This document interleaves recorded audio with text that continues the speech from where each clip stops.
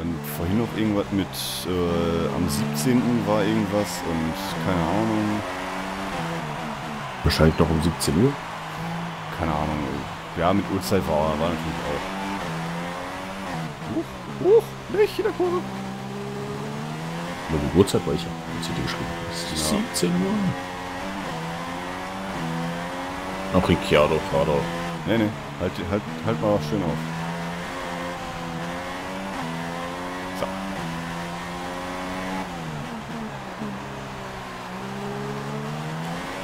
Da, da, da, da, da, da, da, da.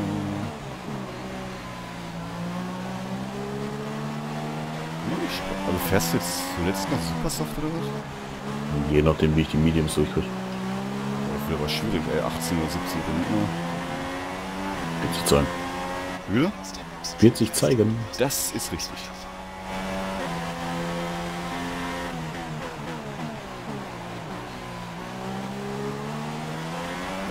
Ich finde das ja auch geil, wenn du dem jetzt zum Beispiel bei so einem Wetter sagst, hier äh, Heavyweight aufziehen oder sowas. Dass der nicht irgendwie mal auf die Idee kommst, nach, nachzufragen. Weil manchmal sagt er ja, wir haben eine Alternativstrategie und sagt dir dann ja, zieh mal lieber Soft aus. Aber manchmal sagt er gar nichts und packt dir einfach die Heavyweights drauf. Hm. So nach dem Motto, ja, wenn du willst, dann kriegst du den. Wenn du meinst, hat er dann trotzdem mal gewinnt. Nur so ungefähr. Wenn du den haben willst, dann kriegst du den. Wenn der kriegt. Ja. Ah, er will Heavyweight. Nicht, dass er sich wieder in der Boxengasse auf den Boden wirft und weint. das habe ich ja früher tatsächlich gemacht, wo ich ein Spielzeug gesehen habe. und Really? war Jo, ja. Ich war ein schlimmes Kind. Meine Eltern haben nicht, sagen nicht ohne Grund, wenn ich das erste Kind gewesen wäre, wäre ich ein Einzelkind.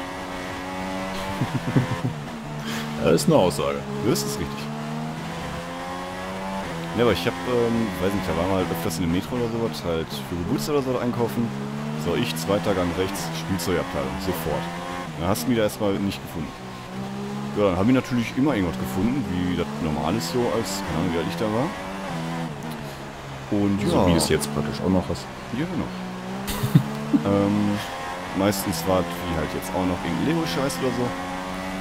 Ähm, aber ich habe mich dann tatsächlich knallhart auf den Boden geworfen, habe geheult. Und meistens habe ich es dann auch bekommen. Vielleicht liegt es daran, dass ich jetzt alles sofort haben will, wenn ich sehe. Ja, bin verzogen. Ähm, weißt du, ja, du Fotze. Nur weil du nichts gekriegt hast, außer eine Waschspritze zu Weihnachten. Ne, sagen wir so, hätte ich das früher gemacht, hätten sie mich knallhart da gelassen. Ja, das war bei mir tatsächlich auch so. Da waren wir halt im, äh, halt so für die Woche Lebensmittel einkaufen. Und dann habe ich auch was gesehen, was ich zum Essen haben wollte. So zwölffach gezuckerte Bullshit-Scheiße und was weiß ich. Als Mutter sagst du natürlich, pass auf, äh, nein. Ist ungesund, kriegst du nicht. Ja, ich lege mich halt auf den Boden wieder und meine Mutter hat sich dann knaller verpisst. Und ich, ich saß dann, hab dann geheult, hab dann irgendwann re- realisiert, ich komme nicht weiter. Und äh, ich bin dann tatsächlich wieder auf meine Mutter gestoßen, wo die an der Kasse stand. die hat auch, die, das hatten wir letztes, vor ein paar Wochen oder Thema, die hat gesagt, die wäre knallhart gefahren. Das, wär, das war ja scheißegal. Weil ich das halt schon mega oft gemacht habe und irgendwann ging der so auf den Sack. Weil der eh schon pissig war, wo meine Schwester auch wohl am Rumquengeln war und all sowas. da hat die noch kurz Dank gesagt, so nö, den lasse ich jetzt hier in der Hoffnung, dass der, eh, dass der verloren geht. Den kenne ich nicht. Der ist nicht von mir, der ist mir zugelaufen. Ja, so ungefähr, ey. Ja, aber bei mir und meinem Bruder war es tatsächlich so, wenn meine Eltern gesagt haben, nein, da war auch nein. da wurde nicht gefilmt, da wurde nicht rumgeholt, da war gar nichts. Da hieß es, nein, da wurde einmal mit der Tasche, mit, mit der, mit der Tisch auf der Faust gehauen. Mit der Faust auf den Tisch gehauen und für die war die Sache. Ich habe auch mitten im Real bei uns hab ich den Arsch voll gekriegt. Ich habe angefangen habe zu quengeln. Ja, ist doch richtig so. Ich will das nicht anders machen. Das heißt, Dann hast du wieder das Problem, dass sie dir sofort an deine Karre essen wollen. das ist mir egal, ganz ehrlich.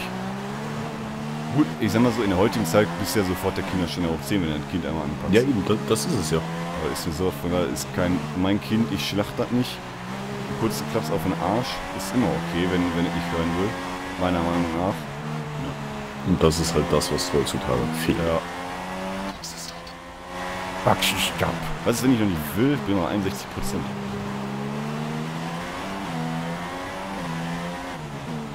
Semmel gibt, der wirklich, die dann das Kind richtig verwemsen und so. Aber da sage ich, nehmt das Kind weg. Ja. Das ist was anderes. Da Aber mal so, richtig. wenn das Kind Äh. absolut nicht hören will oder so, ein Klaps auf den Arsch oder so, ey, da tut doch keinem weh. Da ist, macht mein Schwager auch so. Der, die Kinder, die hören halt. Fertig. Wenn die nicht hören, dann wird der einmal kurz lauter. Sagt, pass auf, äh, da gibt einen auf den Arsch. So wie letztes Mal. Und dann sind die ruhig. Hm? Da musste der bis jetzt einmal anwenden. Und da muss er nur noch androhen. Oder ansagen. Androhen hört sich wieder so fies an. Ja, ist ja. Im Prinzip ist es richtig. Ja. Ich bin noch immer noch der Meinung, dass sie die Scheiße mit dem Ohrstock in der Schule hätten sie niemals abschaffen dürfen. Okay. Gut, da war Egal, ich ja ob ich selber darunter gegangen hätte oder nicht. Also ich glaube, ich hätte drunter gelitten tatsächlich. Ich auch. Das hätten wir alle. Ja. Aber ganz ehrlich, wenn das noch aktiv wäre oder ein, also, ne, dann wäre das auch alles ganz anders gelaufen. Dann hättest du dich ganz anders verhalten, weil du genau weißt, wenn du Scheiß raus kriegst du einen auf die, auf die Finger. Ja.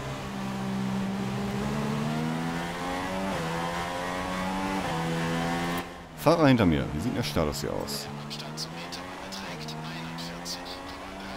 Wow. 41 Sekunden. What? Ja, Hamilton hält mich gerade so ein bisschen auf. Weil ich, ich fahre die ganze Zeit voll chillig. Dachte mir so, komm, fährst jetzt in die Box oder gleich? Kannst zweimal in die Box fahren. Erstmal eine Box voll auf das Gras kommen. Und noch einen Schluck trinken.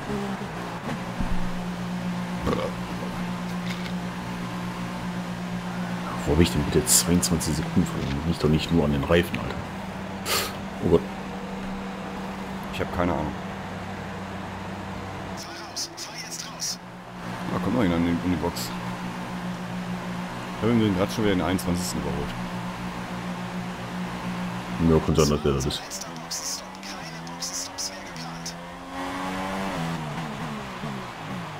Ich glaube, das liegt einfach daran, ähm, dass ich einfach die ganze Zeit hier auf gut Deutsch, ohne mich großartig wirklich zu konzentrieren, die ganze Zeit am Labern. Chillig weg war. Das Ja. war mir nicht anders. So, Also, wie gesagt, 20 ich will das Rennen jetzt einfach nur noch zu Ende fahren, weil Ja. die sind halt so gesehen meine ersten aus richtigen Punkte mal wieder. Äh, der zweite kriegt 12, ne? Ne, warte mal. Oder? 18. 18. Stimmt, 25, 18. Das ist auch nie verstanden. Warum nicht so scheiße geregelt wurde. Keine Ahnung. Tatsächlich, ähm, in der ersten Formel 1 Dingens, das, das haben die mal bei die Silverstone, die Kommentatoren gesagt, ähm, da gab es irgendwie pro Sieg halt irgendwie ein Punkt oder so. Da hatte der WM-Führende irgendwie sieben Punkte oder so. Irgendwie so voll eigenartig. Und jetzt äh, irgendwie so äh, pro, pro Sieg drei Punkte und jetzt kriegt der Sieger einfach mal 25 Punkte. Und im letzten Rennen sogar 50. Ja, wird nicht sowieso voll. Weiß ich gar nicht, haben die das noch? Das weiß ich nicht. Da bin ich zu wenig hier momentan drin. Aber das war ja, ich weiß gar nicht, woran das Das lag. war zumindest mal angedacht. Ob die Ja, das noch haben, weiß ich nicht.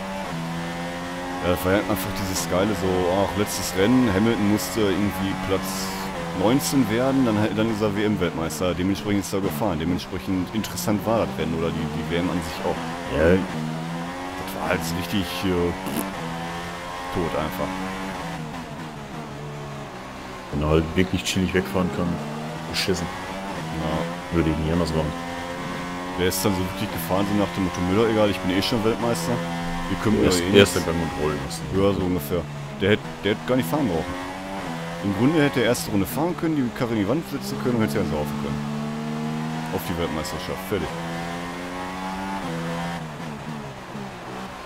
Ja, guck mal, war ja früher aber schon nie anders. War auch schon fünf oder sechs Rennen vor Ende. Ja, gut, bei, beim Ja, Schumacher, da war es ja noch eindeutiger. Ey. Ja, sieben Mal hintereinander. Oh ja. Aber ich glaube, das war auch so der Punkt, wo das so langsam schon langweilig wurde. Wo halt immer der gleiche... Ja, wobei, bevor Raikkonen aufgehört hat, war es eigentlich noch ganz lustig. Ja, weil die sich beiden so ein bisschen immer gekibbelt haben. Weil er halt auch noch mithalten konnte. Ja. Ja, Und dann ähm, fing es ja an, auf einmal die Saison In der, in, das war eh total kurios. In der einen Saison hatte Vettel, sag ich mal, vier Punkte, sag ich mal. Und in der nächsten Saison ist er Weltmeister geworden. Hm.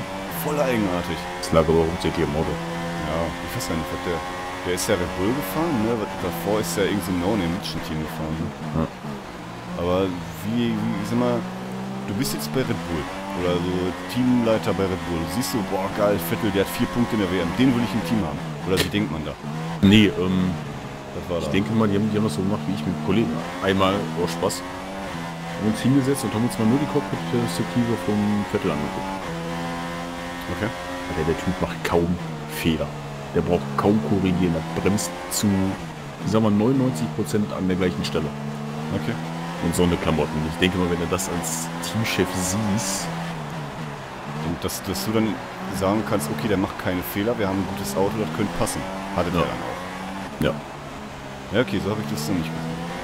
Also wir haben uns wirklich hingesetzt, da war er schon bei Red Bull. Weißt du was, gucken, wir gucken heute mal nur den Vettel zu, das ist sowieso alles schon gelaufen. Ja, Der fährt halt so weg. ja, ja klar. Ich glaube, wir können sich die Augen verbinden, aber das wird er noch schaffen. Ja. Ja, und jetzt ist er ja wieder so ein bisschen am, am, am Abkacken wieder. Jetzt ist ja der Rosberg so am, am Hochkommen von den Deutschen. Der ist ja am, äh, momentan am Kämpfen irgendwie mit Hamilton, glaube ich sogar. Mhm. Was ich tatsächlich interessant finde, damit Hamilton mal einen guten Konkurrent hat, weil der Rosberg ist kein schlechter Fahrer, muss ich sagen. Nee, ist auch nicht. Ja, Hamilton ist halt. Ein Ass- ein Hamilton. Assi. Genau. Das ist für mich ein Wichser, ganz einfach. So ein richtig postpubertärer Affe einfach.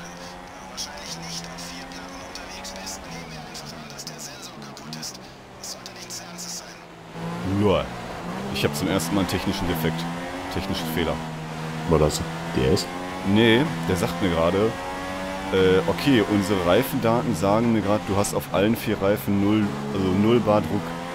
Da wir sehen, dass du nicht auf vier Plattfüßen unterwegs bist, gehen wir mal davon aus, dass die Sensorik defekt ist. Wir arbeiten daran. Ich sag mal, Ja, ist jetzt, ist jetzt nichts Das ist nicht Gravierendes, aber, großartig wichtig, aber aber es ist jetzt das erste Mal, dass ich irgendwas hab oder hatte. ich habe meinen Jeff schon seit knapp 15 Runden nicht mehr gehört. Der ist schlafen, der ist müde.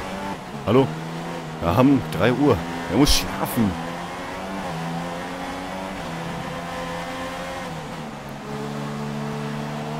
Ich bin im Übrigen gerade wieder an Platz 15 dran. Und überrundet. Auf die Mediums zu gehen, war ein Fehler. Zweite Mal. Warum? Pro Runde, ich war 1,29 bis 1,30. Jede Runde. Holy shit. Ich kann dir gleich sagen, was ich fahre. Ich weiß gar nicht, was meine letzte war. So, letzte Kurve außen vorbei. Easy. Also ich musste hart überrunden. Ja gut, 1,30,1. Ich fahre mal jetzt... Ich verguck mal, ob ich jetzt vernünftig durchkomme. Zeit knacken. Wieder? Messer Zeit knacken oder? Ja, nicht auf Obwohl du Medium. auch mit Medium, ne? Nicht auf Medium. Ich fahr chillig zu Ende. Aber ich habe tatsächlich erst ähm, mich umentschieden, als du das gesagt hast, dass du auf Mediums gehst und vielleicht durchfährst. Da ich in Runde 22, 21 reingegangen bin, werde ich auf jeden Fall durchfahren. Ich kann doch eigentlich Auto nicht fahren, ne? also nicht. Dich kriege ich eh nicht mehr. Ja, gut, auf, auf dem zweiten hast du glaube ich auch Unmengen an... Äh, Ach, den habe ich schon zweite Runde so ungefähr. Ach, fick dich doch, Harganto. Ja, ich mach pimpelig. Ja, fick dich. Weg mit dir. Erstmal rausgedrückt den Harganto. Also die Zeit wird nix. Wenn man keinen Platz machen will, dann drücke ich ihn halt voll von der Strecke. Ich hab, ich hab noch nicht mal jetzt äh, Verwarnung dafür gekriegt oder so. Okay. Oder hinterher wieder kriege ich irgendwie so, so einer von Latz, das wurde mir nicht angezeigt wird oder so. 80 Sekunden Strafe. Fünf Minuten Strafversetzung. Erstmal so in, in eine Eine. Minute wird reichen. Ja, richtig. So, ab, ab in die Boxengasse, 15 Sekunden Belehrung. Du, du, du, das macht man nicht.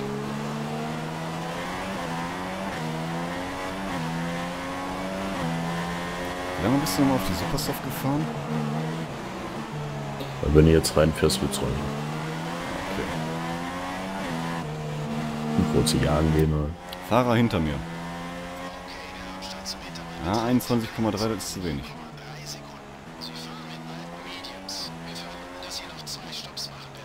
Nee, weil mein Frontflügel halt orange ist oder, oder so leicht orange. Dafür ist es zu wenig, das ist richtig. Nee, ist nicht so heikel. Da fahr ich lieber chillig weg. Ja, du, du hast aber jetzt gleich auch den Pulk wieder, den Pulk vor... Den Nee, Pulk von wieder daher vor... kannst du reinfahren. Oh, nee, nee. Das ist nicht so riskant. Komm Du schon willst doch... Ja, wo kannst du... Du willst doch nur, dass ich reinfahre. Fahr rein. Nee, nee. Da ist warm. Wir haben Bier. Ja, die haben die auch in äh, 5, 6, 7 Runden. Aber dann ist es warm. Nee, ist gekühlt. Nee, nee. Ich habe Strom ist original... Deswegen hörst du dann Jeff nicht mehr, ne? Ja, eben. Das ist so die logische Schlussfolgerung. Die haben einen Stromausfall, deswegen höre ich ihn nicht. Stell ich mir auch geil vor, du bist so in der Box und dann ist da knallhart ein Stromausfall. Dann haben wir ein Problem. Oh ja. Das frage ich mir aber auch. kommen die Äh, guten alten Tafeln wieder raus. oh ja. Das frage ich mir aber auch so, ey, wo holen die den Strom her für die ganze Versorgung? Er liegt mir noch. Erneuerbare Energie. Zumal die ganze Strecke ist aus Solarpanels. Oder die Strecke ist aus ähm, Material, was Strom erzeugt, wenn Reibung darüber geht. Also mit den Reifen und so. Meinst du, die Strecken sind alle von Nissan? Oh ja. Hui, Ricciardo. Aber von dem Auto hast du auch nie wieder was gehört, ne? Nee. Ich habe gerade Ricciardo fast weggeschossen. Mein Teammate hat noch dem noch keinen Platz. Ja. Der sollte eigentlich wissen, dass du schneller bist. Eigentlich. Ach, Bottas. Na, halt den mal auf. Okay, ich muss auch in eine Box. Echt jetzt? Alter, die Hure. Das ist doch von einer verschlangen. Ich glaube ja. Also, ich habe auch einen orangenen Fronten. Ja, Marine Tryhard? Weiß ich nicht. Ja, du willst die 1,25 auch haben. Ja, auch. Ja, keine Ahnung. Weiß ich noch nicht. Dafür habe ich jetzt wieder ein paar Leute vor mir. Oder hätte dann wieder mehr Leute vor mir tatsächlich. Ja, schon mal.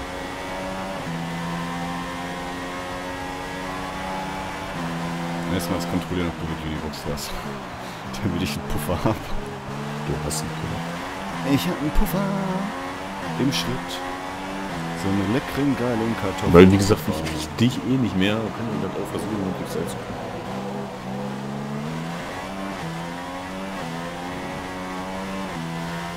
Das Interessante ist, ich habe jetzt gerade Button überrundet und das sah aus, als würde er einfach nur stehen auf einmal. Also ich bin halt an dem vorbei und als würde das stehen bleiben.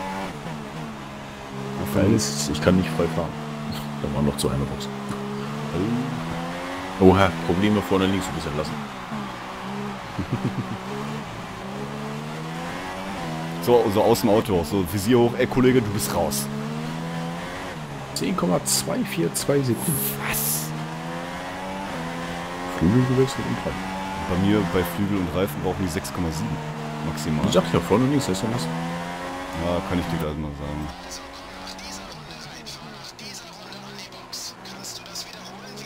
Wir hören dich schlecht. Nee, auf den Sack. Weißt du, dieses Problem, ich, ich rede halt, weil Boxenshop sage ich, mache ich meistens halt äh, einfach so, einmal kurz LB und nach rechts machen. Mhm. Und wenn ich dann dabei rede, dann bestätigt er das und macht wieder hier den Denied und ich verstehe dich nicht und deswegen mal immer dreimal. Vor allem Boxenshop. Ja. So Jungs, Intermediate Kündige das da? einmal, einmal mal richtig an und dann kurz bevor ich an der Box bin, sag ich dem das noch. So Jungs, Flügel Nummer 3. Passt. Sitzt, hat Luft. Jetzt habe ich uh, 8,4. Flügel Jungs, ihr seid raus. Vor allem, ähm, ich habe äh, auf YouTube durch äh, hier bin ich am Rumeiern momentan. Aber Ich habe mir so ein paar Formel 1 Videos angeguckt. Bremsen! Boah, da musste ich erstmal stehen bleiben um eine kurze Sekunde. Damit ich nicht Alonso durch die automatische äh, Entlasseinrichtung der Boxenausfahrt voll reinheizt. Äh, so Boxenshops, ne, so vergleichbar. Da war halt natürlich Formel 1, äh, hier die LMP-Klassen, Tourenklassen und äh, tatsächlich auch Formula E. Da machen die einen kompletten Wagenwechsel. Das ist ja gut, die haben halt nicht so eine übertriebene Reichweite, ne? Richtig. Ist voll geil. Die heizen damit Knallgas in so eine kleine Garage rein, springen aus der Karre raus, springen in die nächste Karre rein, dann kommt ein zweiter, der schnallt den dann an, macht alles fertig und pissen die wieder. Dauert zwar extrem lange, aber muss halt jedes Team machen. Das ist natürlich... Äh, Ja, dann ist es wieder ausgeglichen. Und das hört sich verdammt geil an. Du hörst einfach nur so... Erst nichts, erst nichts, erst nichts, dann sitzt da drin. Hoch, und während ich das gesagt habe, habe ich fast einen Abflug gemacht. Ne, und ich habe dann tatsächlich, bin ich bei den Nesca-Boxenstopps hängen geblieben. Was ich verdammt geil finde. Ähm, braucht zwar unheimlich viel länger als Formel 1, aber die Reifen haben alle fünf Muttern. Und der Typ, der die Muttern löst, löst diese fünf Muttern in unter einer Sekunde. Oder die haben das in, in halt ein bisschen rangezoomt äh, gezeigt. Du hörst wirklich einfach nur so. So, nächster Reifen kommt. Weg. Fertig. Die haben Okay. irgendwie in, in unter zwei Zehnteln pro Mutter braucht er. Muss, muss ich dir mal linken Herz sein. Das ist so krank. Das, die haben halt so von äh, den, das, das beste Pitstop-Team mehr oder weniger halt gezeigt. Und ähm, ja. Die, die tanken ja auch noch nach. Tatsächlich. Irgendwie 5 Gallonen, 25 Gallonen in 5 Sekunden oder so. Also mit Knallgas reinpumpen, die Scheiße. Das ist schon echt heftig. wobei mir so, so ein Nesca ist mir echt zu langweilig. Also, ja, das ist richtig. Nur im Kreis fahren. du, du sitzt ja die ganze Zeit nur, könnte jetzt jemand verloren. Naja. Ich glaube, das ist so das Einzige, warum die Amis da gucken. Ja. Einf- Einfach nur um irgendwelche Crashes zu sehen, die ja eigentlich zu 100% passieren. Ja. Außer wenn ich gucke. Ich war lang, langweilig im Kreis. Ja. Schön nebeneinander. Nein. Oh, ich hab dich berührt. Ach, tut mir jetzt aber leid. Ja, aber ich finde... Ich finde auch geil so Videos so von den Zuschauerrängen. Warte mal ganz kurz. Perez überholen. Ähm... Da sitzen die da so und so erste Runde. Bams! Oha. Ich hab ein Problem. Sechs, sechs, sechs. Oha. Ähm... Dann kommt zur erste schnelle Runde und dann kommen wirklich alle, ich weiß gar nicht wie viele, 24 Fahrzeuge, mehr, 40, 180 Fahrzeuge mit Knallgas an diesem Zuschauerrang vorbei und du siehst einfach nur, wie alles hochfliegt und alles hochgewirbelt wird durch die ganzen Luftverwirbelungen und alles. Wo ich mir nur so denke, so, Alter, das muss auch ein geiles Gefühl sein einfach.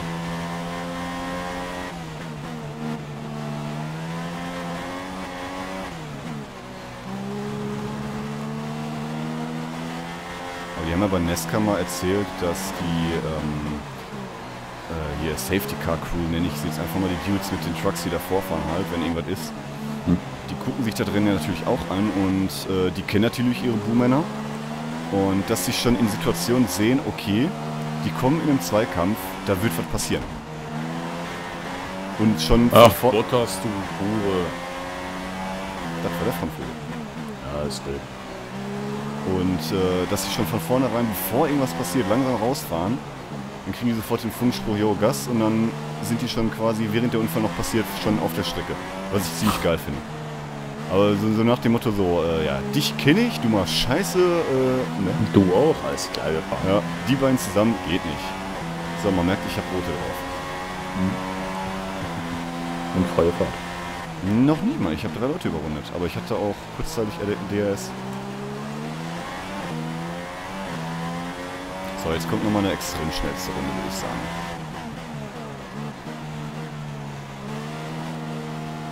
Weil ich habe jetzt schön, äh, mehr oder weniger frei. Mir gibt es sogar komplett Freifahrt. Nochmal hier Knallgas. Schnellster Vektor.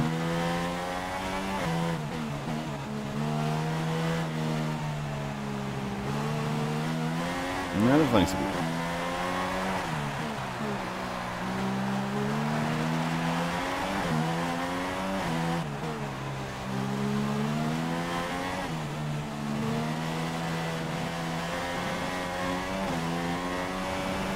Oh shit, oh shit, Rasen. Nee, ich dreh mich. Ach, Massa. Oh, er zieht in eine Kurve rein. Ja. Okay, wir haben uns den Frontflügel angesehen. Er ist im Arsch. Aber wir denken, du solltest zu Ende fahren. Es ist genug Zeit. Also ich kann nur so viel sagen. Vorne links, vorne Flügel, äh, gar nichts mehr. Rechts. Komm, wir tun zusammen, haben wir einen kompletten. Oder, ja gut, einer hat einen kompletten, ne? Ich finde, wir nehmen den kompletten und Alonso kriegt den kaputt. Hört sich gut. So, das wird eine echt tolle Rundenzeit. Plus 11 Sekunden. Übrigens bin ich gerade froh, dass du aufnimmst und nicht ich. Müde? Ich bin gerade froh, dass du aufnimmst und nicht ich. Weil meine Aufnahme hat abgebrochen. Echt? Mhm. Mann läuft. Ich habe da irgendwie so ein komisches hässliches Symbol oben rechts in der Ecke, was ich nicht kenne. Weil, wie sieht das aus? Beschreibe mir dein Leid. Äh, das ist auf jeden Fall ein Strich durch, das habe ich nicht gut. So ein äh, das Aufnahmeding mit roten Ding, roten Strich durch.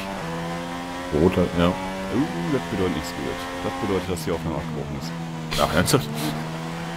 Echt jetzt? Ne, da musst du noch irgendwie mal in den Einstellungen gucken. Können wir ja gleich irgendwie nochmal abgleichen, wenn du noch wach genug bist. Nö, So dafür. um 10 nach 3. Ja, fahren wir noch in die nächste Runde. Ich weiß nicht, was, danach. Nee, nee. Hungaro-Ring kommt. Mein Gott. Hohenzollern, Mann. Huansohn-Ring. Hohenzollern. Boah, ohne Witz, ne? ohne Frontflügel vorne links. Oh, gar nicht. Vorne, rechts, vorne rechts ist es noch relativ angenehm eigentlich. Ja, vorne links nicht. Das sind ja irgendwie kaum Rechtskurven oder so. Boah, jetzt kommt eine Linkskurve, die letzte. Also die letzte Linkskurve, die geht. Die kann ich wie immer fahren. Boah, ich habe ihn gehört, den Predator. Aber diesmal bist du es nicht. Nee. Karierte Flagge, Menes. Warum nicht das auch, dass die ganze Saison so scheiße. Ist so. Ah. So. Ja. GZ an dich? Ja. Und auch an dich, dass du tatsächlich Zweiter geworden bist. Mehr war einfach nicht. ja, war wirklich nicht. Ich bin zu scheiße gefahren. Okay. Ja gut, ich... Ich ja selber davon abschauen. Ja. Schnellster Sektor in der letzten. Ich hab bis Platz 7 alle zweimal überrundet, ey. Dann kommt eine Runde, eine Runde, eine Runde, eine Runde und dann kommst du. So, Rennleitung. Vorfälle. Ist tatsächlich wenig. Ich habe einmal eine Kollision mit Hülkenberg und dann war's. Runde 34 Kollision mit, was, mit Mazda verursacht. Was war denn da los? Jawohl, 75 Punkte in der Gesamtwertung. Du bist auf Platz 12 hochgerückt. Finde ich gut. Juhu. Konstrukteursrangliste. mal, Was fährst du nochmal? Haas. Haas ist Platz 10 von 11. Naja, ich würde sagen, auf dass die Saison so weitergeht, aber ein bisschen mehr Gegenwehr der KI bitte. Nicht nur beim Überrunden. Ja. Deutschland als nächstes. Schön. Naja, ich würde sagen, vielen Dank fürs Zusehen. Bis zum nächsten Mal. Bis zur nächsten Folge. Auf Wiedersehen. Tschüss.